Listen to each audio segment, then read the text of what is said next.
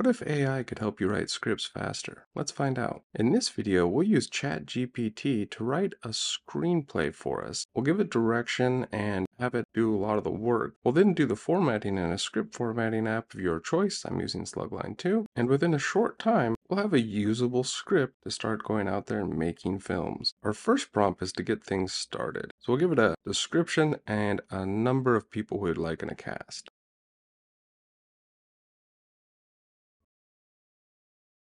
So this is a great start. We already have a title and a synopsis. Let's go ahead and have it write out our cast. Now that we have the title, the synopsis, and the cast of characters, we want to get an outline for the script. And I think this is one of the best ways to do it, though leave a comment down below how you would prompt an AI to outline your script.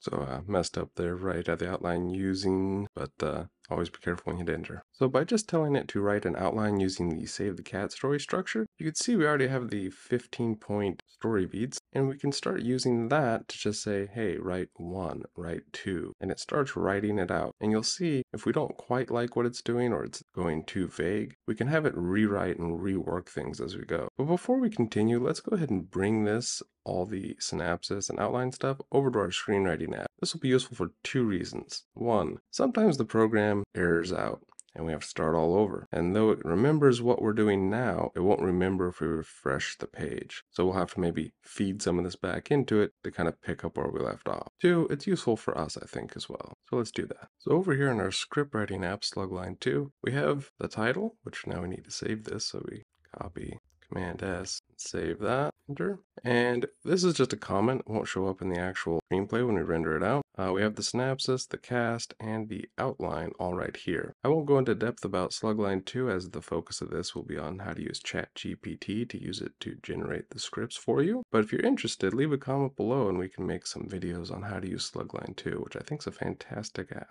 So over here, now that we have an outline, we can come up and reference the opening image. And I would say we just copy this right here. And then in here, just say write the opening image in a screenplay format. And now you can see it's using the screenplay format to start writing things out. I do specify that because sometimes it wants to write in kind of a little bit more of a novelish format. So, so it's helpful for us to kind of read over it and then bring it over into our actual screenwriting application. So if we scroll back up, it gives us a pretty decent starting point. And we can always refine this. If we read over this and we don't like something, we can tell it to perhaps rewrite this a little bit. So we can go ahead and start bringing this over into our screenwriting app.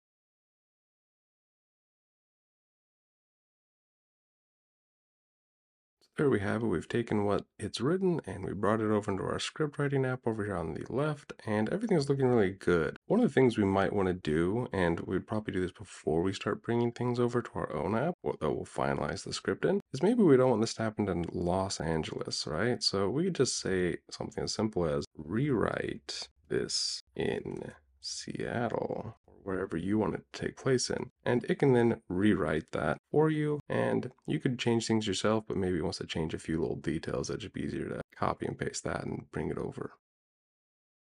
Now, if we scroll back up here, you can see the description didn't change. Nothing really changed uh, except this exterior Seattle day. So it may not look super helpful, but the AI will remember that and it should help it make decisions as it goes on. It now knows it's in a different location and so it can probably change a few things uh, as it writes the script. So let's go ahead and continue on with this and we can do that by just scrolling up to our outline here that we brought over and we can say start with the theme, you know, or start with, now we'll just continue. So we'll just again do that right, paste in theme stated and it should already know we're in a script format so we don't have to specify that again. And there you go, interior car day. So you can see how easy this is so far, but maybe one of the things you're thinking is, well, these scenes are kind of short. Maybe I want a little more detail here. So if we read over this, the group is driving down the highway, the ocean visible in the distance, turning to the group, and she's like, you know this. So maybe we want to expand on Samantha's fear here. So we could just say, write. Maybe we don't even have to say write, really. We just say expand on Samantha, I think it was. Samantha. Samantha's fear in So we're like, hmm, that's interesting. Maybe we want to work on that a little bit, even though I did spell Samantha wrong.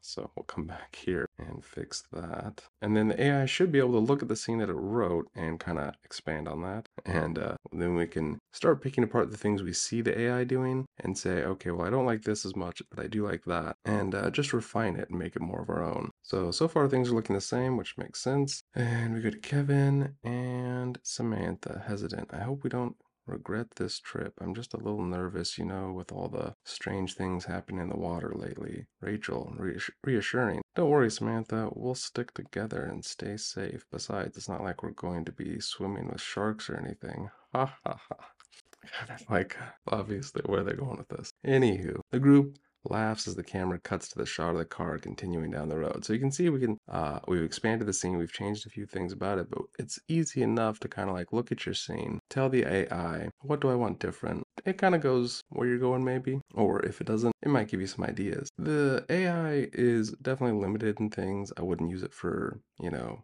writing a documentary or making a script for a video on facts. But with story, I think it's got a lot of good things going for it. It's got all the way up to 2021 as of right now for like database and information it's using. You know, not current news or anything, but you can go back to like, let's say, in a few weeks, it'll be, you know, anything 1927, you know, like a lot of more public domain stuff. And you'll be able to say, hey, write a screenplay based on H.P. Lovecraft's uh, Call of Cthulhu or something, or write a screenplay incorporating elements of uh, we're, we're making a shark one here, so maybe the deep ones, I think it is, you know, the, the, the kind of fishy people in Innsmouth. So you can use a lot of public domain material to kind of create your scripts and stories, and the AI already knows a ton about that. So hopefully this video showed you kind of the building blocks of what you need to do to write out an entire script. Let me know if you use this method to write your own screenplays going forward, and what are your thoughts and uh, just general writing process now with AI here to assist. Thanks for watching, and if this video was helpful, uh, consider subscribing. I will be putting out videos on screenwriting and movie making and putting out movies I make. So stay tuned.